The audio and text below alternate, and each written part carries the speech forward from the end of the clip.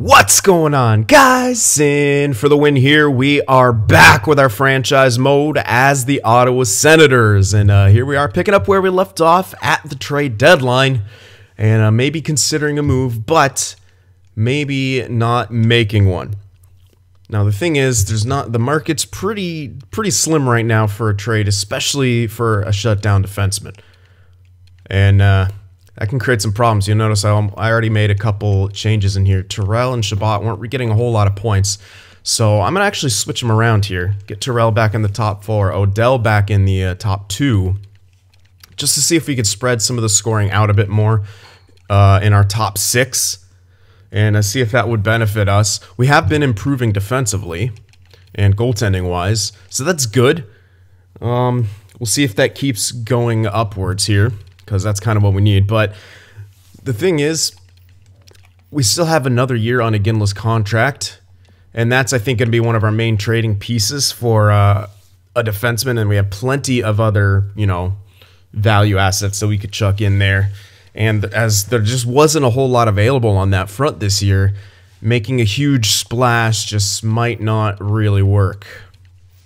So I think we're going to maybe just continue as is and keep these lineups and just kind of push for the playoffs like that and play the long game here and hope for you know something better next year and uh, things like that. Because forcing a trade through right now, taking on more cap, is probably not the best the best uh, call right now for the roster and the team overall. So that's kind of my two cents on it.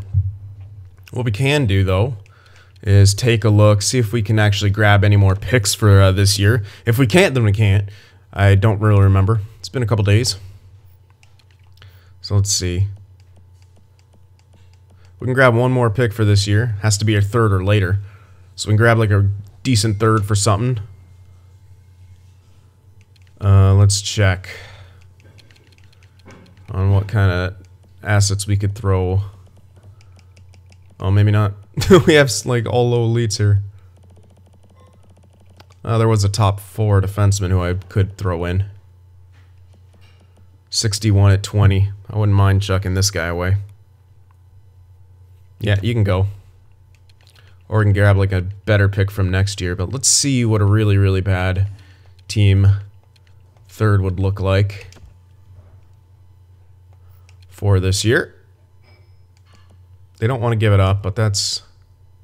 Oh yeah, we'll have to get another pick from next year, something like that. Let's see if we can get a second, then a... Or... Oops, that's Nashville's. I think we want theirs. Yeah. Would that be good? Mm, that might be a little bit too much, but let's see what they say to that. Too far off. Okay. Don't necessarily need a, a fourth for this year or a third for this year. I can even grab a fourth from this year. We just need one more pick. That should actually do it right there. Second from next year, fourth from this year. Not quite. I think I want... Hmm.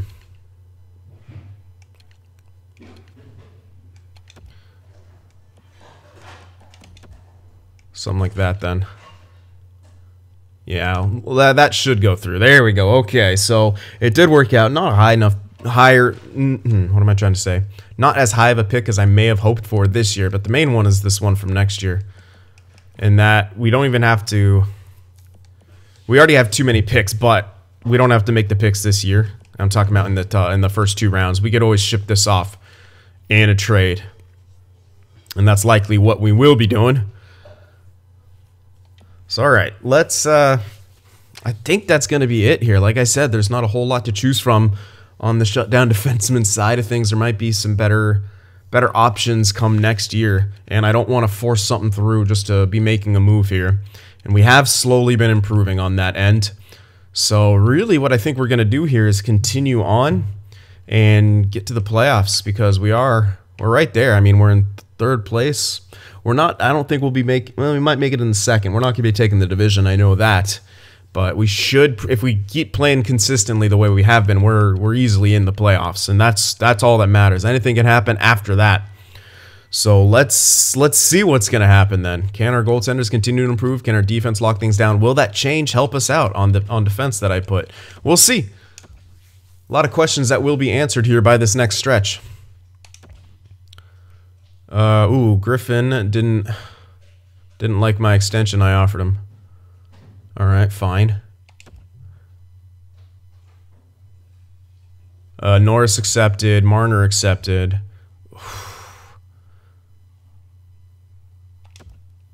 And Lafreniere rejected. That's unfortunate.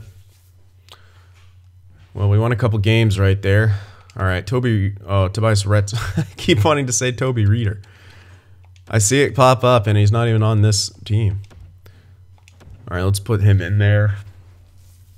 Won a few games here. I do want to go back and take a look at those contracts. Let's end it right there. Do we, I think we lost that game. No, we won that one too. So three wins right there. Uh-oh. Samsonov's injured, but I think it's just minor. So that's good. Pretty rough, though, that Lafreniere not wanting to accept that extension. Oh my gosh. It's just outrageous the cash he's asking for. this is rough. Might have to do a one year thing and then hope he'll come back. I don't know that he will. We'll do a one year thing like that. It's an extra five mil.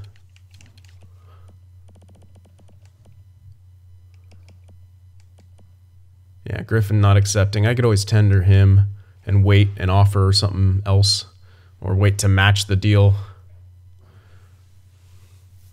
I do want to see where he goes more than anyone else, though, really. And this isn't a bad deal for him. I don't know if I want to do three years. Let me do two at like two and a half.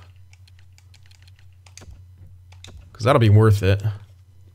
Even where he's playing right now. But he's definitely someone I want to hold on to.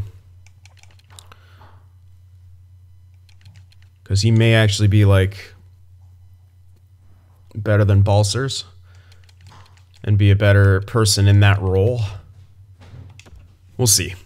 All right, yeah, Samsonov fully healed now. So just a very minor injury for him. Griffin, okay, Griffin now accepted the op. Okay, Lafreniere. So it's a one-year extension. We're basically just playing for him to want an extension by next year, essentially. Don't know if it'll happen, but we gotta hope. All right, so two losses in a row there. Another injury to our AHL, to our top line. Not great. Do we have anyone that could just kind of fill in there and be decent? Not really.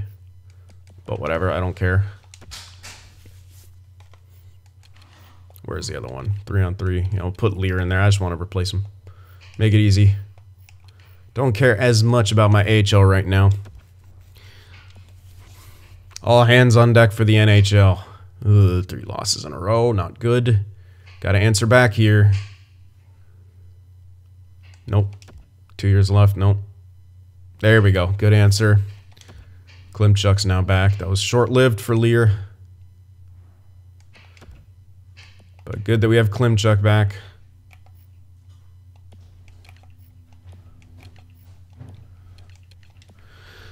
Okay, keep going here.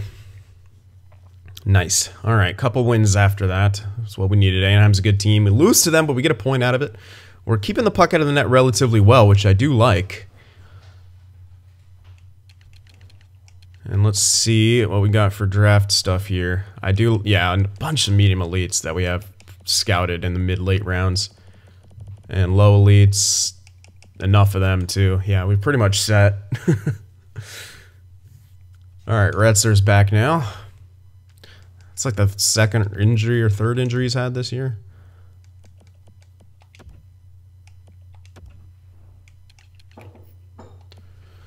All right, back in he goes. Another loss, man. Bad stretch right there, but we could pull out of it. Or not a great stretch to start the month, but a couple wins right here. We'll be right back to where we need to be. Ooh, that's a tough reg loss. That's a tough one. You hope to at least get a point out of a game like that. Good. Okay, we shut out shut out Pittsburgh in turn there. Then two more wins. Okay. One more win for 50. Come on, do it. Ah, oh, we did it. Beautiful. All right. So 50, what's our last game going to be? Okay, luckily these are all to our AHL and none to our NHL. That's really fortunate for us going into the playoffs here. I'm just going to stick Percy in there. He's good enough. Come on now, one more game. What do we got, Ottawa?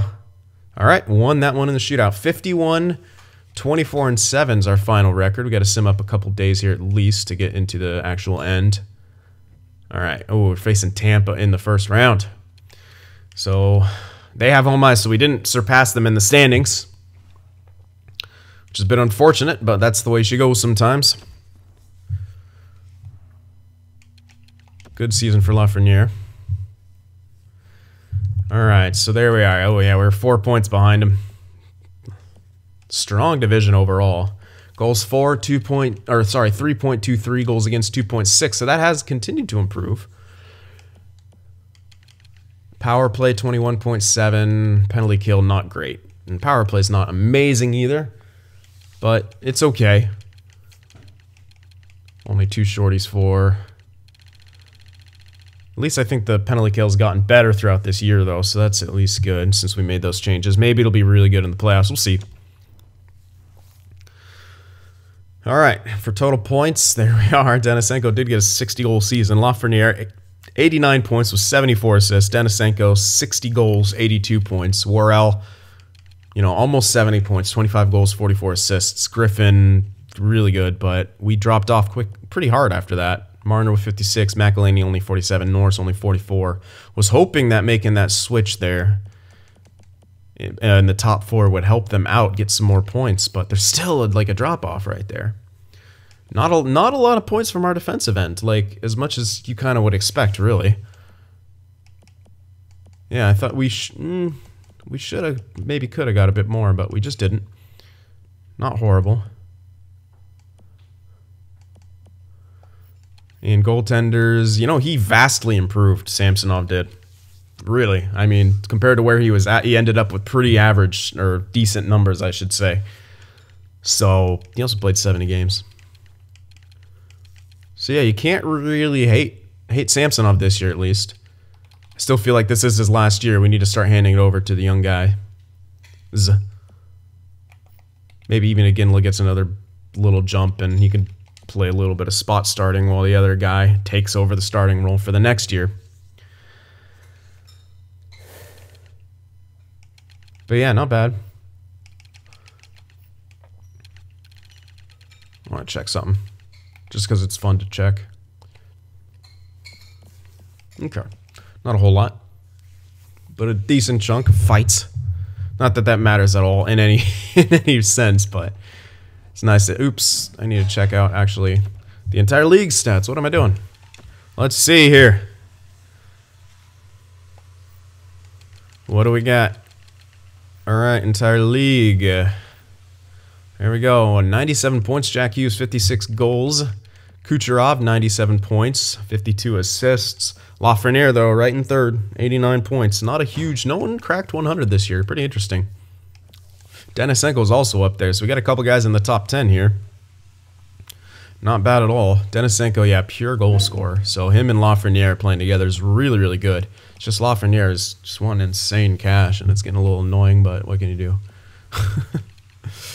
Let's see the plus minus leaders here. Only plus 34 is the top, okay. Shot takers, I think. Oh, it wasn't even him. I think because Worrell was shooting a good chunk, but dude, that shooting percentage is out of this world. Yeah.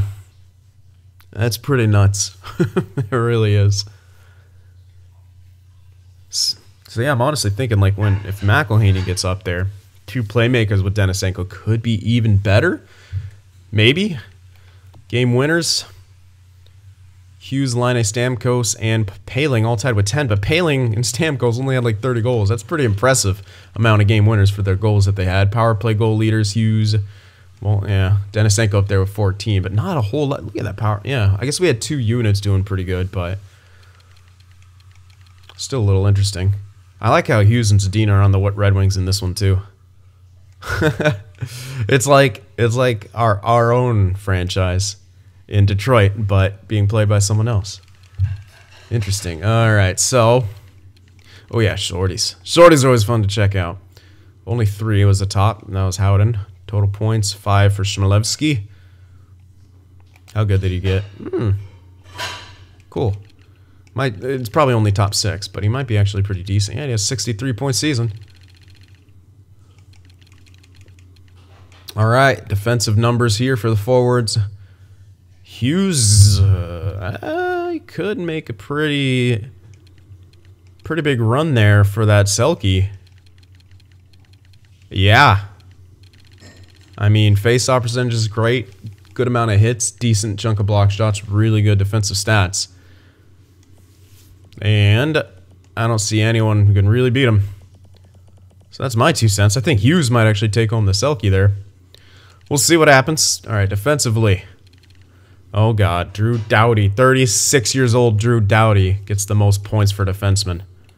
Who would have thought? Cale Makar was 60, 35 goals. Good old creative player shooting a shit ton.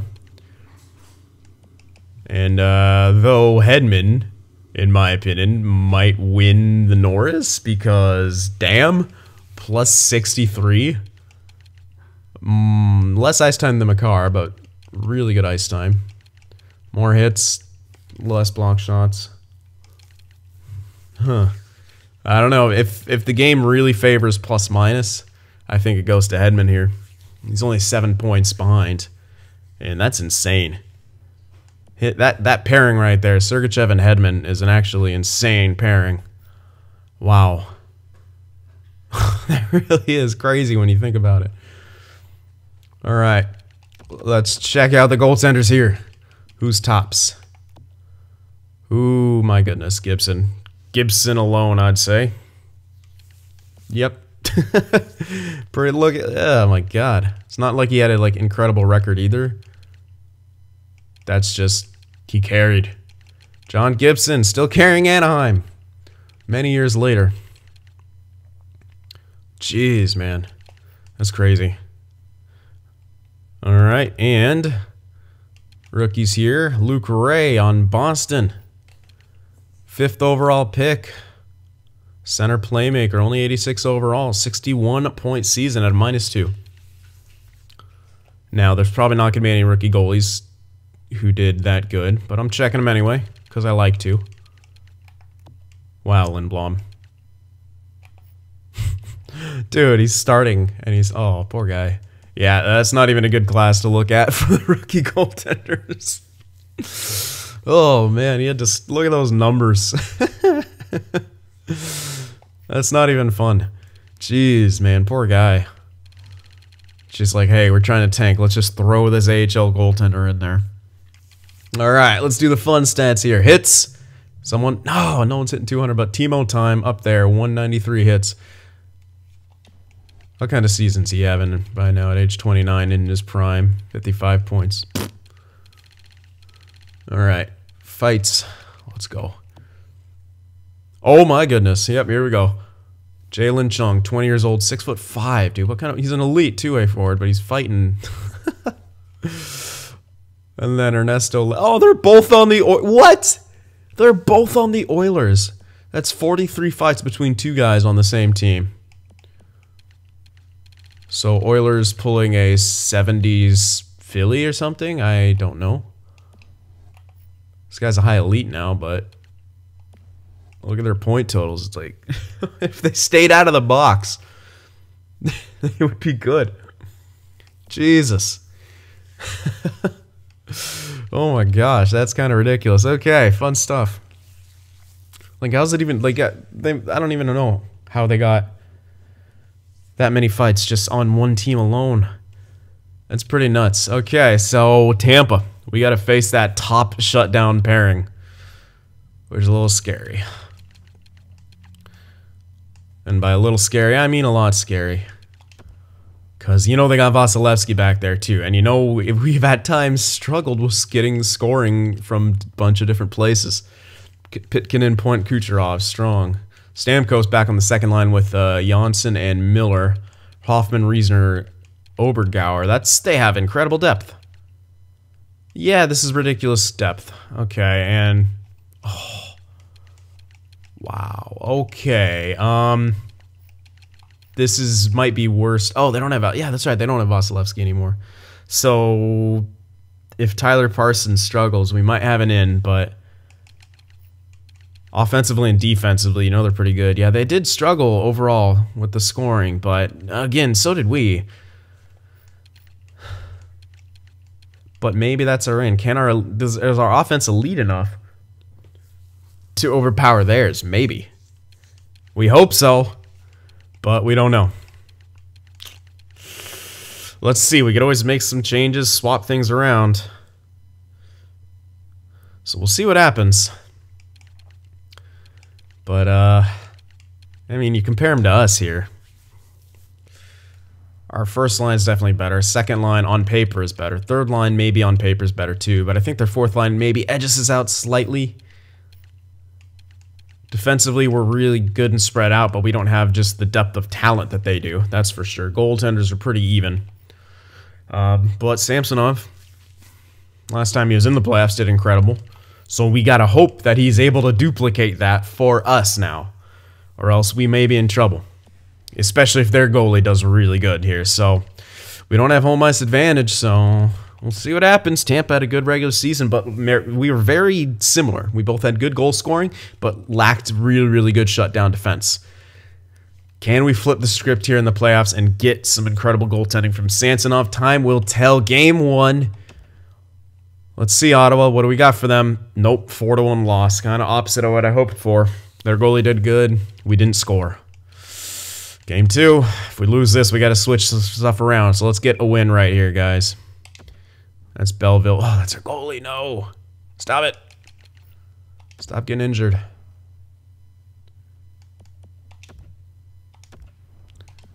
Ugh, that's rough. Uh, yeah, yeah, he was actually out too. Hold on. There we are. Put him in there. Come on. No. Two losses in a row and we didn't score. Yeah. Good defense. It happens, but not what we needed. Really not what we needed right here. So let's let's try something for the future.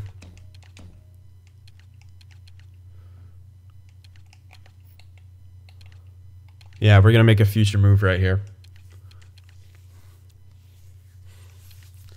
Two guys who can score.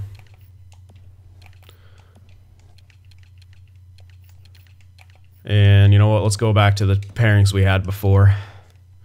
Terrell Chabot and Odell. Damn, man. Not good. But let's see let's see these moves. McElhinney on the top line here. Just because that's what I kind of envision the future to be. Don't know if that's correct or what, but let's try it out. On home ice now. We got a win here. Big win coming up. Come on, guys. Switch it around. Get the goal scoring here. No, we can, still can't score. Yeah, it's pretty much over. We just can't score. They have a really good defense, and their goaltender showed up now. So, get swept. we scored a total of seven goals in four games with this kind of offense. So, we make it back to the playoffs, only get swept. I don't... A shutdown defenseman wouldn't have done anything right there it's just with this team, if it's not one thing, it's the other. I don't get it. It just doesn't make sense to me. Denisenko did nothing for us. Like, I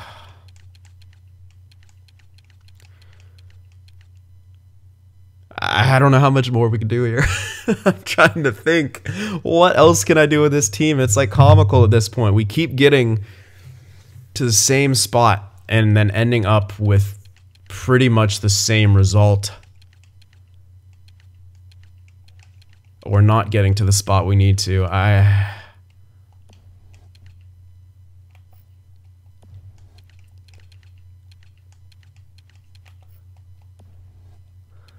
But this is the ticket. Right? I think Worrell Marner on a line would be really good. Norris you know, we got him to a better contract for next year, I think. So third line, maybe trade Logan Brown, or maybe have him third line and then keep Griffin. Maybe get Balcers out of here and then restructure this fourth line to be defensive. Hold on to Anisimov, Batherson, but maybe Kulikov and the other guys. We definitely need more defensive type guys. Quinn Mathers, unfortunately, just not built super well. Just make that switch, I think have, you know, Norris and Brown, third line with Griffin. That could be a hybrid defensive and scoring.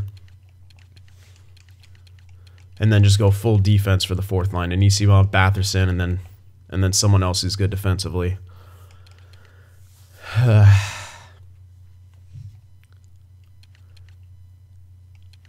but Griffin, I'm thinking might even be ready for second line. Because if we make that switch down, we'll have a gap here. Griffin, I'm thinking, might be the guy to fill that. I don't know. He's.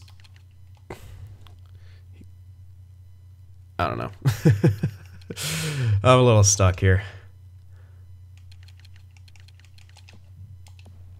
Marner can be hybrid. I know Worrell can goal score. This guy could be more of the passer. Norris Brown and someone else third line could be really good. Maybe even Kulikov, but he's kind of done by the looks of it. I really like Anisimov in the depth, but I don't know. Again, trying to force a trade through probably still wouldn't have worked for the defense because we just didn't score. Like, that was the issue. We couldn't score. Samsonov, and he didn't do good either. So it's just like everything. Once again, everything kind of fell into a funk. And I don't know what it's going to take to get this going. Because it feels like no matter what I try, things just don't quite work out.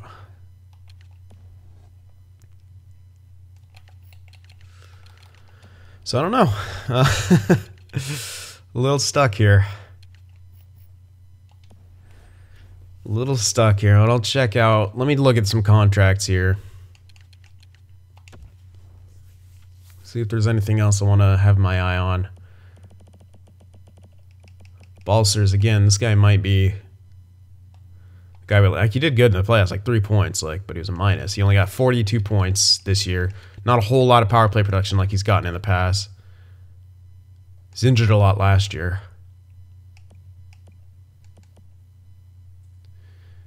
I mean, it wasn't a bad year for him, but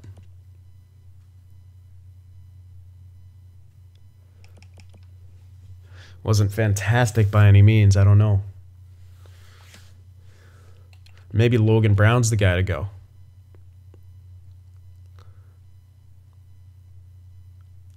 There's just so many questions, and I can't even say I have the answers.